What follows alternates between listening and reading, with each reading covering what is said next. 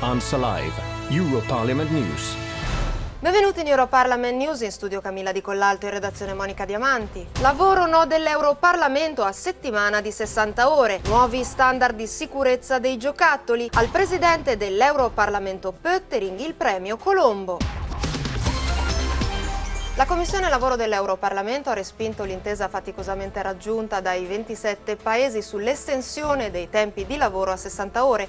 Sentiamo da Bruxelles Enrico Tibuzzi. L'orario di lavoro settimanale non può andare oltre le 48 ore e ogni deroga dovrà essere eliminata entro tre anni dall'entrata in vigore della nuova direttiva europea. E questa è la linea adottata dalla Commissione Lavoro del Parlamento europeo che si è così messa in rotta di collisione con l'intesa faticosamente raggiunta dal Consiglio dei Ministri del Lavoro del 27 lo scorso giugno. In quell'occasione i paesi dell'Unione avevano dato il loro via libera alla possibilità per ciascun paese che lo volesse di optare per un orario di lavoro superiore alle 48 ore settimanali fino ad arrivare a un massimo di 60-65 ore. La Commissione Lavoro dell'Europarlamento si è anche pronunciata contro l'esclusione dei turni di guardia dal computo totale delle ore lavorate. Gli europarlamentari parlamentari ritengono infatti che tutti i turni di guardia, attivi o inattivi, siano da considerare nell'orario di lavoro. Regole più severe per la sicurezza dei giocattoli, in particolare quelli destinati agli under 14, servizio. La Commissione Mercato Interno e Protezione dei Consumatori del Parlamento Europeo ha deciso di rafforzare gli standard di sicurezza per i giochi destinati ai minori di 14 anni. La direttiva, che sarà votata nella plenaria di dicembre, detta criteri e condizioni per le missioni sul mercato dei giocattoli giocattoli, tra cui il rispetto della normativa europea sulla chimica, il REACH, qualora vengano utilizzate sostanze potenzialmente dannose. Si riduce la presenza di sostanze allergeniche e si estendono le tutele contro i rischi di soffocamento ai giocattoli per i bambini maggiori di 3 anni. Sotto controllo anche la fabbricazione di biciclette o altalene da giardino. Nuove regole infine per i giocattoli e i gadget inseriti nei prodotti alimentari.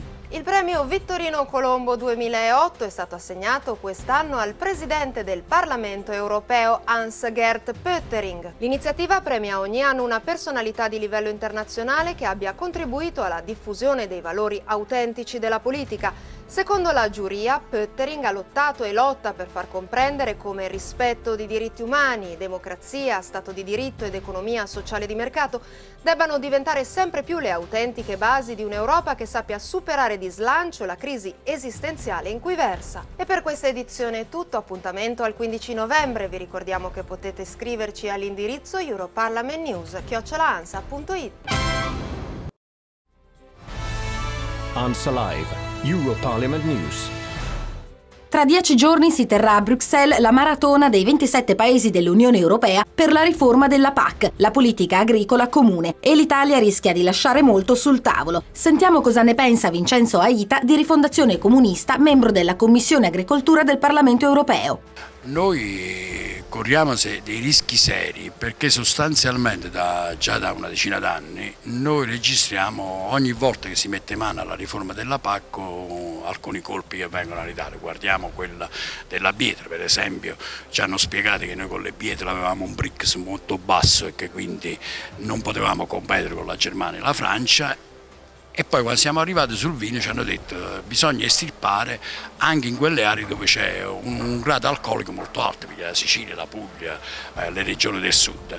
C'è un, dire, un, andamento volta per volta sulle cose e l'Italia, credo che non, anche qui, fuori da qualsiasi schema politico, non ha mai concepito l'agricoltura come l'ha concepita la Germania e la Francia come un sistema integrato e produttivo del proprio paese ma abbiamo visto la, la, i fondi europei come un assistenzialismo. L'Italia dunque paga il prezzo di non aver difeso il proprio sistema produttivo agricolo come avrebbe dovuto, oppure di averne gonfiato i numeri come al tempo della riforma delle quote del latte. Oggi che si va a una riduzione dei fondi comunitari, è chiaro che se io come Germania o come Francia ho un tetto di fondi europei X, non sono disponibile a perderli. Difendo, cioè se dobbiamo ridurre del 3%, in Italia riduco del 3% su 100 in Germania riducono del 3% su 1000. Tra le linee strategiche della riforma della PAC sul tavolo dei 27 c'è anche la competizione del sistema e delle imprese agricole europee nell'ottica della globalizzazione. La logica è quella di competere con le grandi imprese agricole canadesi o americane, abbandonando il modello della piccola e media impresa, che è l'ossatura portante del sistema italiano. Poi c'è l'altro aspetto, che è quello più preoccupante.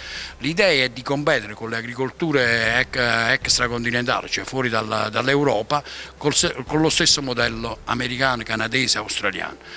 Cioè quello europeo, la, uh, questa revisione andrà verso la direzione di difendere le grandi aziende, perché pensano che così, solo così noi possiamo competere sul terreno.